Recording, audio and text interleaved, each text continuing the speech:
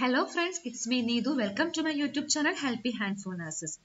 This video includes 20 questions from the topic Nursing Research and Statistics.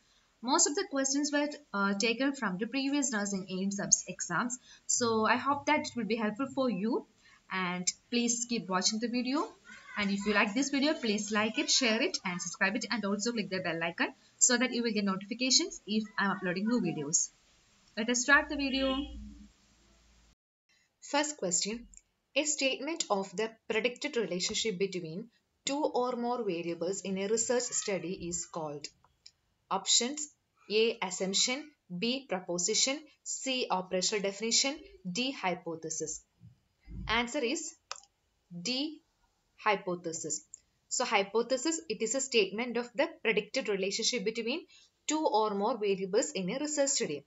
An example uh, for hypothesis is alcohol consumption causes liver disease. Here the two variables are alcohol consumption and, uh, uh, and liver disease. So it is a predicted relationship between two or more variables. Then coming to the assumption, assumption are the statements that are considered to be true but they are not scientifically proved. For example, the statement that is a God exists everywhere in this universe. It is considered to be true, but it is not scientifically proved.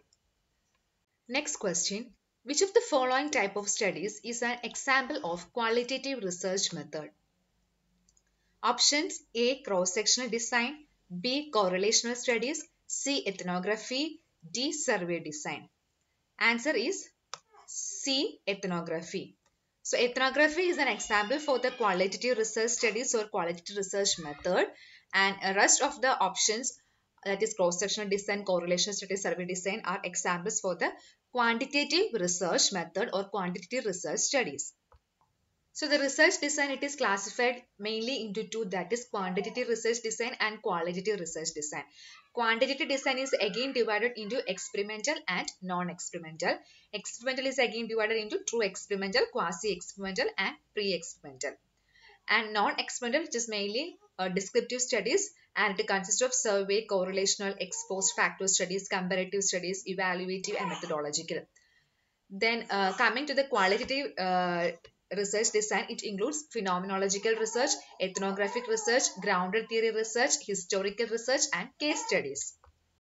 So first qualitative uh, research study is a phenomenological research studies. So phenomenological studies examine the human experiences through the descriptions that are provided by the people involved. Phenomenological studies examine human experiences through the descriptions that are provided by the people involved and these experiences are called lived experiences. So the goal of this type of research is to study the lived experience of phenomenon among people. An example for this phenomenological research study is a phenomenological study on lived experiences of tsunami victims in selected villages of Tamil Nadu. Another example is lived experience of amputated patient due to diabetic foot condition, a phenomenological study. Next one is the ethnographic studies. Ethnographic studies involve the collection and analysis of data about the cultural group. Ethnographic studies involve the collection and analysis of data about the cultural group. That is, it is mainly focusing uh, to study the cultural aspects of the population. An example uh, for this ethnographic study is to discover and understand the traditional beliefs and practices of food pattern in rural Charutta region. Next qualitative study is a grounded theory studies. Grounded theory studies are those studies in which data are collected and analyzed and then a theory is developed that is grounded in the data. So these are those studies in which data are collected and analyzed and then a theory is developed that is grounded in the data. Next one is a historical research. Historical research, it is a systematic collection and critical evaluation of data relating to past occurrences. Historical research is systematic collection and critical evaluation of the data relating to past occurrences. That is, it is a scientific study of the past occurred event. An example is a historical research to understand the development of nursing research in India. Next, uh, qualitative research study is a case studies. Case study, uh, the main aim is to study de detailed individual cases. main aim is to study detailed individual cases. An example is an in-depth study regarding the nursing care of a diabetic foot patient. Next question. The tools used for data collection are options A. Questionnaire, interview schedule, observation, checklist. Option B. Survey, observation, checklist. C. Experimental, non-experimental. Option D. Participant observation, information booklet. Answer is A. Questionnaire, interview schedule, observation and checklist. So the tools used for data collection are interview, questionnaire, observation that is like checklist, rating scale, anecdote etc. and also biophysical method and other methods like Q sorts, Vignettes etc. Next question. Which of the following is not considered as a component of the research problem? Options A. Research instruments B. Variables of the study C. Study population D. Research setting Answer is A. Research instruments. So the components of the research problem are research design, research variables, population and research setting. Next question. A clear, concise summary of a study that communicates the essential information about the study is called. Options A. Construct B. Concept mapping C. Abstract D. Proposition. Answer is C. Abstract. So abstract, it is a clear, concise summary of a study that communicates the essential information about the study. Or otherwise, it is a brief summary of the research article. Next question. The following are the data collection techniques used in the community assessment except Options A. Making appropriate judgments B. Organization and comparison of problem C. Effective communication D. Investigation and measurements Answer is B. Organization and comparison of problem. Next question.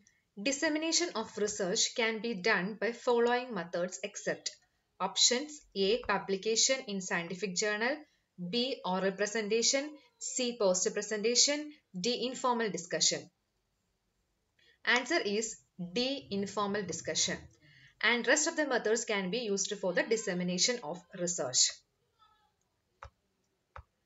Next question. Which of the following is a measure of central tendency?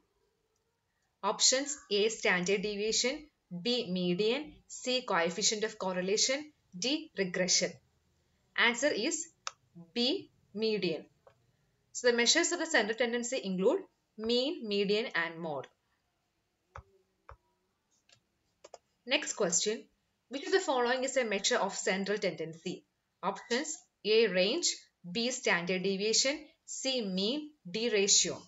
Answer is C. Mean.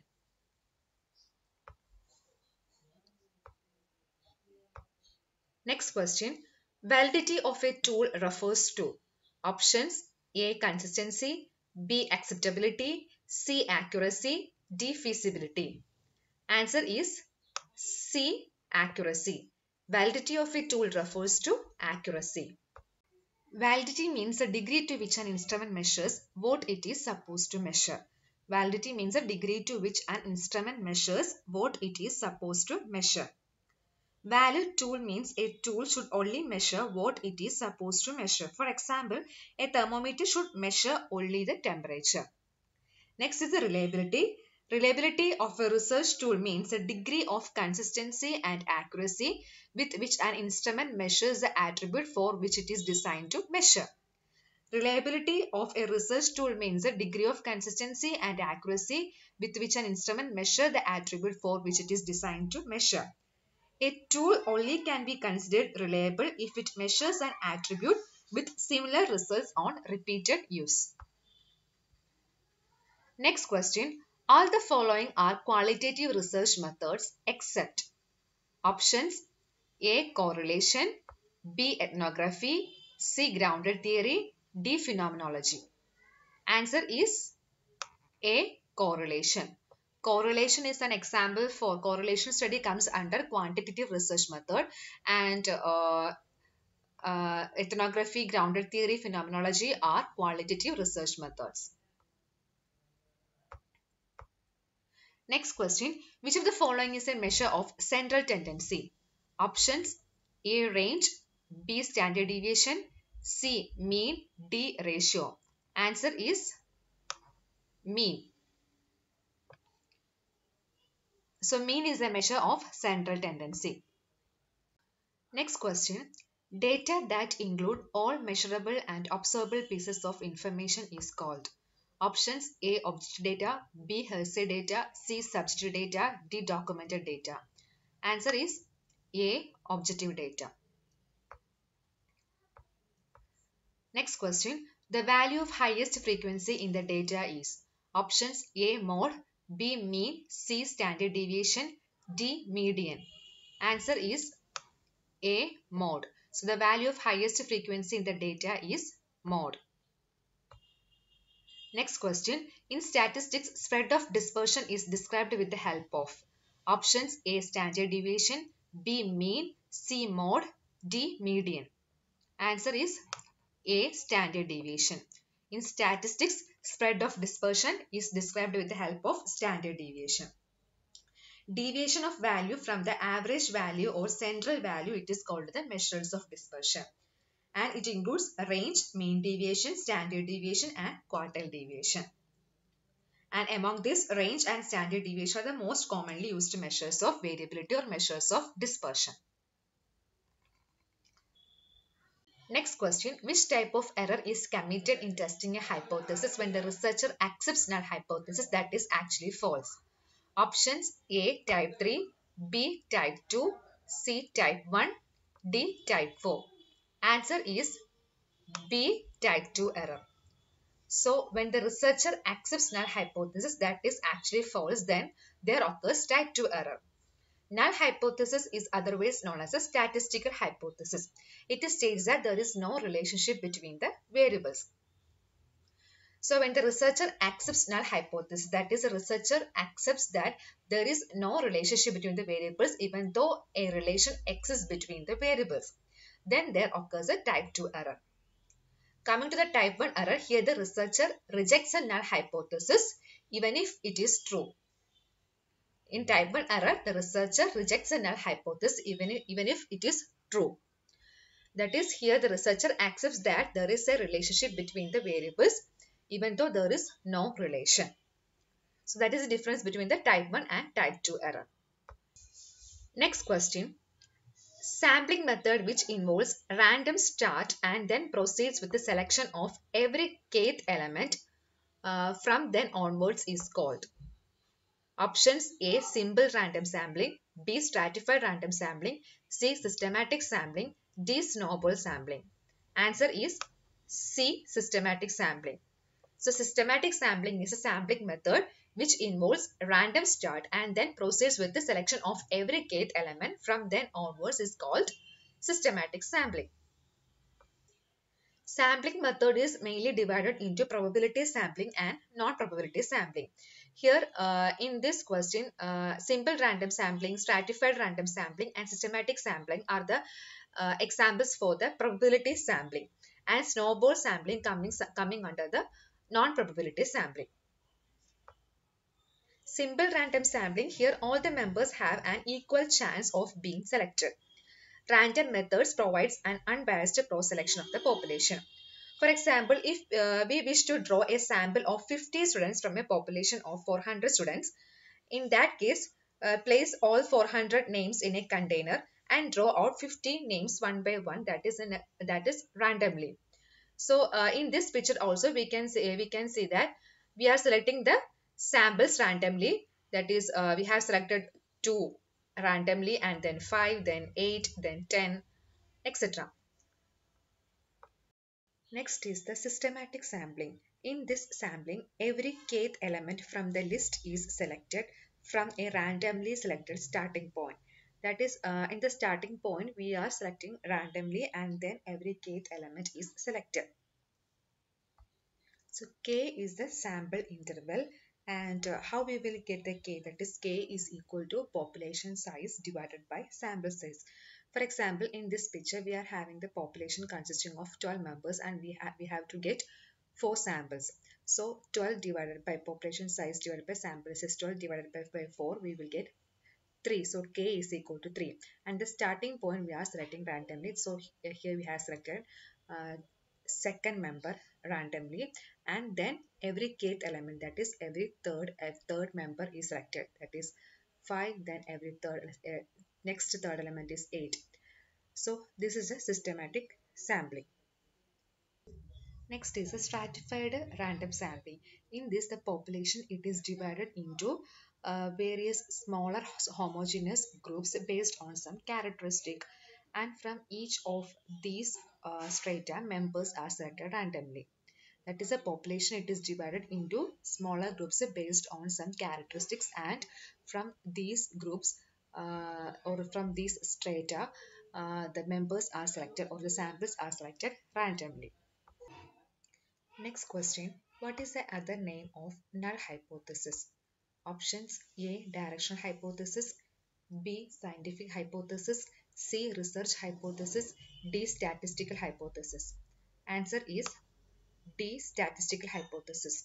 So the other name of null hypothesis is statistical hypothesis that is it states the existence of no relationship between the variables. Next question. What is the term used for a careful appraisal for the strength and weakness of a research study? What is the term used for a careful appraisal for the strength and weakness of a research study? Options A. Research critic B. Research abstract C. Research synopsis D. Research proposal Answer is A. Research critic. Next question. Which among the following is a type of non-probability sampling? Options A. Systematic sampling B. Stratified random sampling C. Purposive sampling D. Cluster sampling Answer is C. Purposive sampling and the rest of the sampling are the uh, probability sampling. So the sampling it is mainly divided into probability and non-probability sampling.